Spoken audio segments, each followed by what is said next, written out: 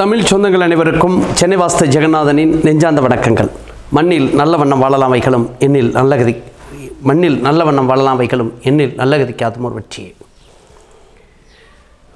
மனை வாங்குவதற்கு அதாவது இடம் காலியிடம் வாங்குவதற்கு காலியிடம் என்பது ஒரு வீடு கட்டுகிற அமைப்பாக இருக்கலாம் ஒரு தொழிற்சாலை கட்டுகிற அமைப்பாக இருக்கலாம் ஒரு கல்வி நிறுவனங்கள் எதுவாக இருந்தாலும் ஒரு இடம் இடம் என்பது அந்த இடத்தோட தன்மை மட்டும் மாறும்.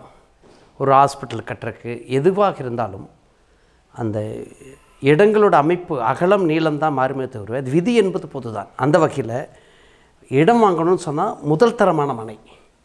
ஒரு இடம் இருக்கிறது.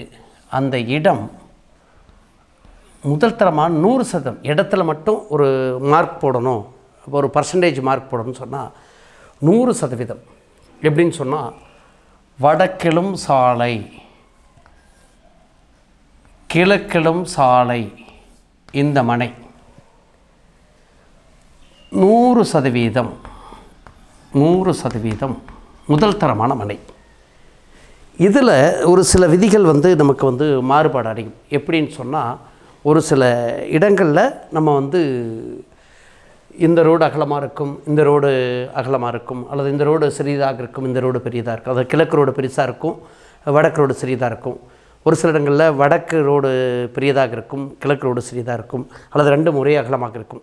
இதில் மார்க் வந்து வேறுபாடு அடையும் ஒரு பத்து மார்க் இருபது மார்க் குறைக்கக்கூடிய சூழ்நிலை ஏற்றக்கூடிய சூழ்நிலை இருக்கும் இரண்டாவது ஒரு மனை இருக்குதுன்னு சொன்னால் இரண்டாவது இது நூறு மார்க் இதுதான் முதல் தரமான ஒரு மனை. இதனை கடந்து இதனை கடந்து வடக்கு மட்டும் சாலை இருக்கிற ஒரு இடம். இது எண்பது சதவீதம் நல்ல மனை அப்படின்னு வச்சுக்கலாம். எல்லாமுக்குமே ஒரு மார்க்கு தாங்க. எல்லாமுக்குமே ஒரு மார்க்கு தான். நம்ம வந்து போடுறதில் எல்லாமுக்கும் ஒரு மார்க்கு தான்.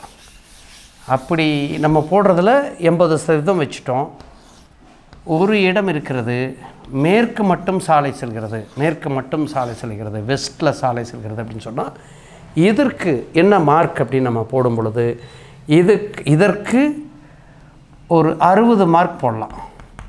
இதே சமயம் கிழக்கில் மட்டும் சாலை செல்கிறது. இதுக்கு ஒரு எழுபது மார்க் போடலாம்.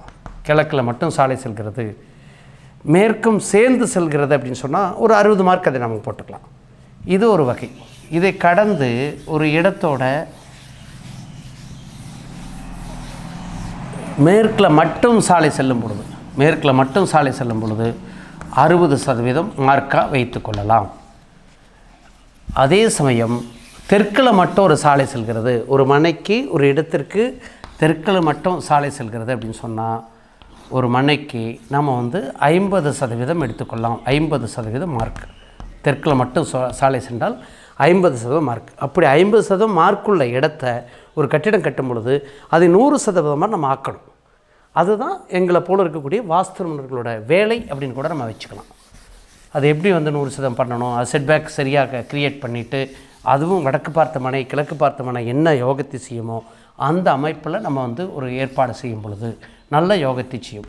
எப்படி நூறு மார்க் வந்து தெற்கு மேற்கு இருக்கக்கூடிய ஒரு சாலைகளுக்கு எப்படி தெற்கும் மேற்கும் அதாவது கிழக்கும் வடக்கும் செல்லக்கூடிய ஒரு சாலைக்கு எப்படி நூறு மார்க்கு இது தெற்கு இது மேற்கு இந்த மனைக்கு எப்படி இங்கே இந்த பக்கம் ரோடு இருந்தால் நம்ம நூறு மார்க்குன்னு சொன்னோமோ இதுக்கு அப்படியே என்ன மார்க் போடலாம் அப்படின்னா இதுக்கு அப்படியே இந்த ஜீரோன்னு போட்டக்கூடாது இந்த மாதிரி ஒரு சாலைக்கு இருக்கக்கூடிய மனை ஒரு முப்பது சதவீதம் தான் ஒரு பாசிட்டிவான விஷயத்தை கொடுக்கும்.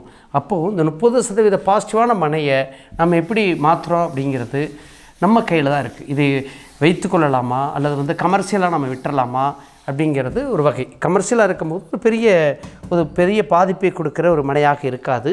அதே சமயம் நம்ம வந்து அந்த இடத்துல தான் உட்காரணும் வேறு இடம் கிடையாது அப்படிங்கும்போது நம்ம இடம் இருக்கிற பட்சத்தில் மேற்கு பகுதியோ தெற்கு பகுதியோ நம்ம வந்து ஏதாவது கிரியேட் பண்ணி ஒரு பொது வழிகளுக்கு பொது வேலைகளுக்கு விட்டுவிட்டு நம்ம சரியான முறையில் ஒரு கட்டிடத்தை அமைக்கும் பொழுது நல்ல யோகத்தை செய்கிற மனையாக இருக்கும். எது எப்படி சொன்னாலும் வடக்கும் கிழக்கும் ரெண்டு பக்கம் சாலை இருந்தால் நூறு பர்சன்ட் வடக்கு மட்டும் சாலை இருந்தால் ஒரு எண்பது சதவீதம் கிழக்கு மட்டும் சாலை இருந்தால் ஒரு எழுபது சதவீதம் மேற்கு மட்டும் சாலை இருந்தால் ஒரு அறுபது சதவீதம் தெற்கு மட்டும் சாலை இருந்தால் ஒரு ஐம்பது சதவீதம் மேற்கும் தெற்கும் இணைந்த ஒரு சாலைகள் இருந்தால் அது முப்பது சதவீத மனைகள் தான் இப்போ எந்த பர்சன்டேஜ் எந்த பவரில் நீங்கள் வாங்குறீங்கிறது உங்களை பொறுத்தது தான் உங்களை சார்ந்தது தான் மீண்டும் ஒரு நல்ல வாஸ்து கருத்தோடு சந்திப்போம். நன்றி வணக்கம்.